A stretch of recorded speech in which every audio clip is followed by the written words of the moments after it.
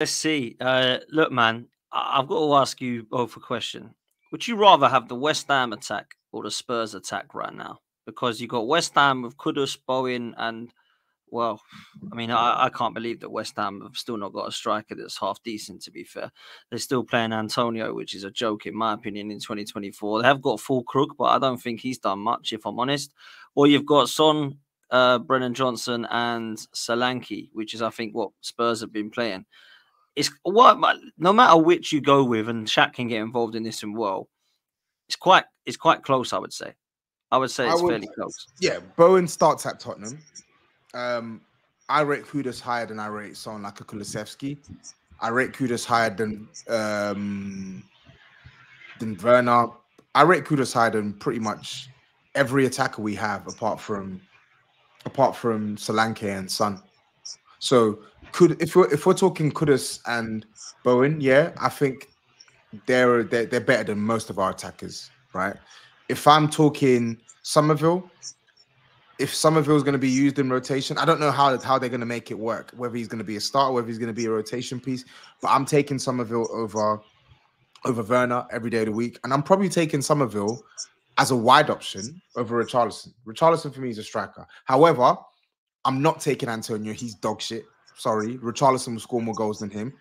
And I actually think Richarlison will score more goals than Danny Ings. I think Richarlison will score more goals than Füllkrug. I think Solanke will score more goals than Füllkrug. I think Son will score more goals than anyone in their team, even Jarrod Bowen.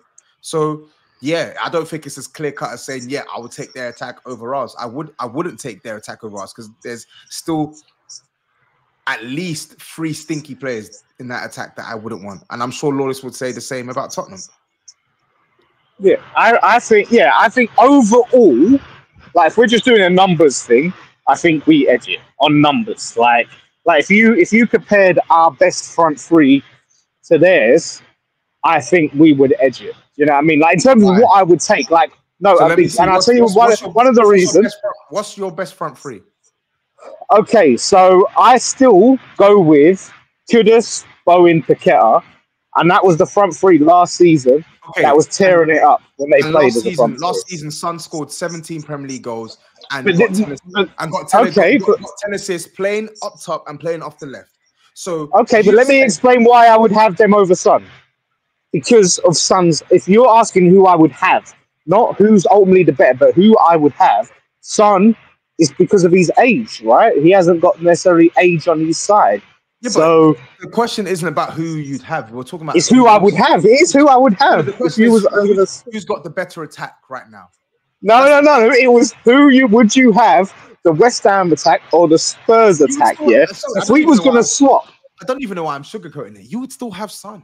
Son is Son is the Son is the best finisher of any player in this front line. Yes, okay, but but well, I- I don't know. Bowen's up there, but this is what I'm saying. Oh, the, Don't even- when you don't think even- about it, Don't even, don't even, and, and I rate. You know how much I rate Jarrod Bowen. I think he's cold. I think he's a quality player. Don't talk about Bowen's finishing in comparisons to Son. Bowen is a good finisher. Son is one of the best finishers we've seen in this league. Full stop. So don't even go there, please. Don't. Yeah, don't okay, but, but please. we- Is we've got. fair I'm saying we've got to weigh up is- the pros and cons. Is it fair to say? Because like, if I was to do a combined eleven, I actually would go with Bo- Bowen, Kudus, and Son, and I'd put Son up top. That's what I would do. So you wouldn't play think- Solanke. That's crazy I to don't- me. Nah, That's that's, I, I think. As much as I think Solanke That's has got the, crazy to me. he's got the chance. We- to do we not I think, think Son- I think Son's a better finisher than Solanke. He is a better Yeah. finisher. But Solanke, he is a better finisher, but Solanke is a better overall centre forward. Son, son, son, son, son, son is a son for me. He's at an he's at a stage in his career where he's still a killer in the box. So you want to keep him in the box, right? I'd have Son But- over Solanke. But the the problem is, I wouldn't have Son in the middle over Solanke, and that's coming from Tottenham fan. The problem with that is, Son can be rendered null and void in several games if you put him through the middle. There's a certain way that teams play. If they play that way, he- he's done. And when it comes to giving defenders hell, he can't do it anywhere near the standard that Solanke You can. you would have you would have Bowen, Kudus, and Solanke. I'm having no, I'm having I'm having Bowen, Solanke, and Son. And I'll play I'll play Son close to I'll play Son close to. Play Son close to anything, Kudus shout. I would actually move Kudus. I'd put Kudus, try him in the eight. Like I love, I, you know how much I like Kulusevski. I really like Kulusevski, but I think Kudus is better than Kulusevski. I would try and Wow. put Kudus and play him with Maddison in the midfield, and I'd play, I'd play one of our guys in the six. That's what I would do. Lawless, what would you do in a front three? I, I would. I'm going to stick with it. I would go Son up through the middle and Bowen and Kudus, but uh, Tobs is going with Son on the left, and No. then uh, I would rather I would rather go Son on the left, Bowen up top, Kudus on the right. That's what I would rather do if I was playing them Because you have the same I think- three then, but a different way round. yeah, yeah, yeah. Because I think Son is better on the left than any of those two for sure. He's more natural on the left. Kudus, you know I mean? He's playing on the left, but he's not natural there. And I think Bowen, um, yeah, he can work up top. We're talking about as like, as like a fluid front three, that works. You know? Okay. So yeah, that's what I would work. And in the midfield, Yeah. you're gonna you're going Alvarez, Kulusevski, Maddison, or are you putting Paqueta in there? Um, yeah, I think I'll, just for now, on form, yeah, I would do that. Alvarez, Kulusevski, Maddison, yeah. So At its best, that's what I would do. Yeah, Because in Spurs fact, ain't let me even know. got Yeah, but- like, real. The holding midfielder at Spurs thing is weird at the moment. I don't know what's going on. There's no Sarr, there's no Bissouma. They seem to be on the bench coming on. Ben Yeah, because, Sankara, he- he don't like- because, because Bissouma got in. Bissouma was suspended the first game. Bentancur started. He came back game. He had a fantastic game against Everton. Then he had a good game against Newcastle. We lost that game, so it, it- it- no one speaks on it. But he had a good game against Newcastle. Then he got injured. Then he got injured and missed a couple of games. And since then, we've had the rotation where Bentancur, because he's been playing the games, he's had momentum. He's been starting the league games. Then because we've got the midweek games, Bissouma's been starting the cup games. I'm very much expecting Bissouma to come back into the team um, on this this weekend. I feel like it's the right time for me personally. I want him to be starting over Benton Bentancur because I think in that number six position, he is better than Benton Bentancur. Um, I just, for me, I know me and Lawless did the combined eleven, and to be honest, I, just out of pity, I just thought, you know what, let me just give you some players. But there's absolutely no way on earth any team who wants to be progressive is going to play Alvarez in the six over Bissouma. Sorry, there's Alvarez has got to be one of the most. I think he's been good, Great. Alvarez. to be there's fair. no lo- Potts. Be serious. If He's so underrated. Arsenal, if you are, it's not about him being underrated. I'm not calling him a bad player, right? I think Alvarez. I think Alvarez has got his uses. I think he's a. I think he's a decent. He's a decent midfielder, right?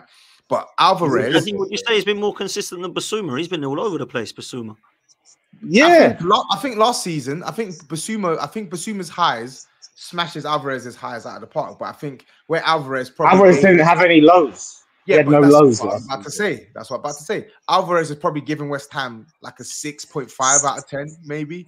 But you'd probably prefer a six point five out of ten over the course of a season than a okay. You give me an eight out of ten for for three months, and then you give me a, a, a- four out of ten for for for the next five months, right? That's one of our most important players. That means nothing to me. You're not good. oh, really? Really? Yeah. Okay. What do you mean? Oh, you're not good. The guy, the We're guy not good. the, the, the guy can't pass. He's not athletic. He's a decent player. Like you're talking him up to be some player that he isn't. He's a decent player. He's not. If Alvarez, eh, listen, Alvarez cannot mix it with the big boys. And I'm not even saying that Bissouma can. I'm just saying Bissouma clearly has more capability as a midfielder than Alvarez. He's a better dribbler. He's better. He's a better passer, right? And he's just as good defensively. So I don't really understand this point we're making here. Would you? Would Listen, you it's how I see if you had money, if you had money, right? Because I personally, I, if I was doing combined 11s at the moment, I couldn't put Bissouma in there because I, I don't know where the guy's been. It's been like an injury suspension thing. But if I'm i was putting- actually to buy If it wasn't form I would. I'm buy- putting him in there. He's the best midfielder. You love to the play his role. idea of Bissouma. You love the idea of not the Bissouma, idea because I'm not saying he's this elite player. I know his flaws. I know his flaws. Bissouma, the biggest problem with Bissouma is consistency. But I'm still taking this version of Basu- Bissouma over Alvarez. Hmm. End of discussion. and if you had if you had money, if you had money, right, and you can only buy one of these players, would you buy Kulusevski or Paqueta? Uh, this is a tough one because it depends. If you're telling me Kulusevski on the right wing versus Paqueta in midfield, it's an easy answer. Paqueta. If you're telling me Kulusevski in the midfield versus Paqueta, then let's have a conversation because you know my stance on Paqueta. You know my stance Yeah. on Paqueta. You know my stance on Kulusevski. I've been telling people since last season, Kulu has to be a central option permanently. He, this wing team, I agree. this system, I think It he's doesn't been work. quality, man. it doesn't work. And Paqueta, I've been saying it. It's, this isn't new. Even when he was playing well, I said Paqueta is a good player, right? He's a good player. He's got visible quality.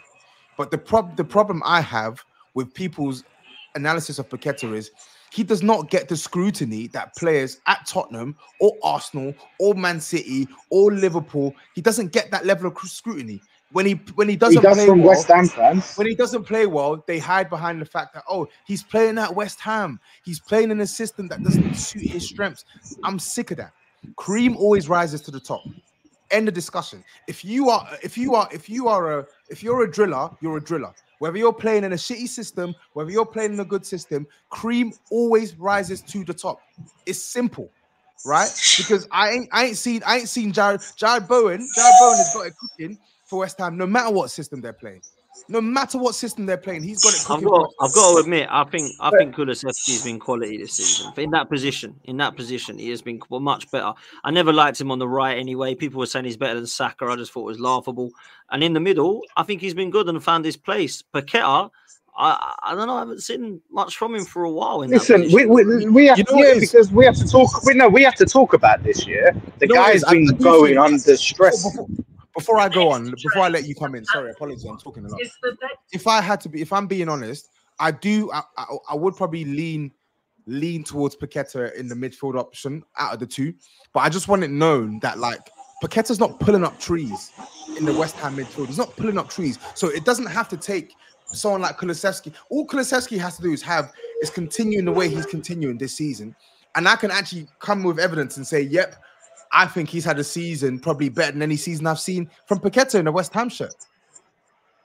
Yes or Listen, no? yeah, like I said, we, we, we, yeah, but we have to talk about this year because Paqueta, what Paqueta is going through, yeah, is immensely stressful. These these scumbags are trying to take his life away, trying to take away his livelihood, yeah, and they're trying to do all sorts of underhanded tactics to do it. Do you realize how stressful? Like, it, you expect this guy to have his mind fully on football. Come on. Potts. Come let on, Me tell you this, let me tell you this. So this guy, this guy, this guy plays. But first it was oh, first they first they said oh it's his first season and he's playing on the Moyes ball. The team's been disjointed. It's not his fault. Do you remember when we were doing the shows? And he was stinking at the joint for months. And when he started to when he finally started playing well towards the end of the season, this guy came out of the woodwork. You see, you see, he needed time. So that was the first season.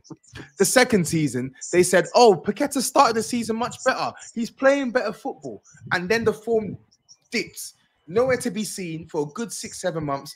And the excuse is, "Oh, he's got a case over his head. They're not letting him focus on the football." We're not allowed. We're not. We're not counting that case. Then is that Now not it's the third- acceptable? now Is that not reasonable? season. Now it's the third season. He's not had a good start to the season. Whenever I watch this guy for Brazil, he looks distinctly average. He does not play well for Brazil. Whenever I watch them, he doesn't play well for Brazil. So you're not playing. We, you're not playing consistently well for West Ham. You don't play well for Brazil. You do these little flicks and tricks. You'll have maybe one good game in five, but yet I'm meant to say this is the cream of the crop in the, in the Premier League. This is the guy that I think can go to Man City and carry the keys. Sorry, I'm not having it. I'm not having it. He's good you're not. Let's call it. Let's call it. He's You, a you're, not having it. You're not okay. You're not having that. He's going through hell right now, and his mind probably ain't fully on football. fault. You're not having that. It's his fault. We don't know that. That allegedly, allegedly. He's going through hell. Did he think about that when he was placing these fucking bets? It's We are allegedly, allegedly, allegedly. Don't let me get his lawyer coming after you. Allegedly, wait. Hey, I'm I'm sending this to his lawyer, mate. I'm sending this to Paqueta's lawyer, yeah, because you can't say that. You can't say that he did that, right? They, they, what they are doing. Man wants us to man wants us to have sympathy for a man who's been accused of betting. Like, like Accused, accused. Potts, are, are you deep? Are you deep in this? Yeah. He's, he's, he's It's clutch- not even like he's clutching, going through any like Rolex, you're clutching, marital bro. problems or he's lost uh, uh, uh, um he's lost someone close to his family. He's literally No, Lawless' excuse for him not being able to play well is because he's distracted by his court case where he's been found to have allegedly been putting down football bets on himself. No, no, no, no, no, no, no. Let's have this right. He, the accusation isn't that he's been putting down bets; it's that his family members put down the bets, and the winnings ain't even that much. When you look at it, like none of it makes sense when you realize it. The case he's gonna, he's gonna bust this case easy. Oh, yeah, he's getting off.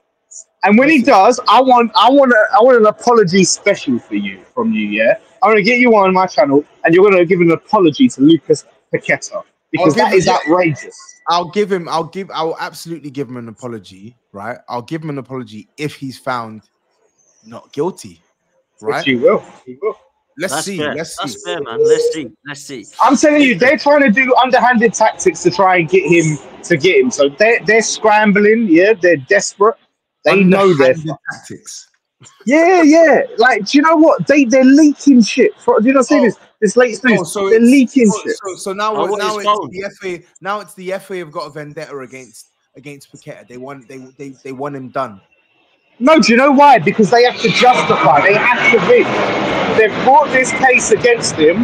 They can't lose because they're going to look stupid, and then they're going to be in a situation where they could get count. They could get sued for for all of the stress and potential loss of earnings and all sorts of stuff that they've put on him. Yeah, so they know they have to win, and now they're leaking information about the case. They're putting that out there to underhand undermine his defense. They know what they're doing, and then they've done that foolishness with the phone. So watch, just watch this space. Mark my words. Remember this video. He's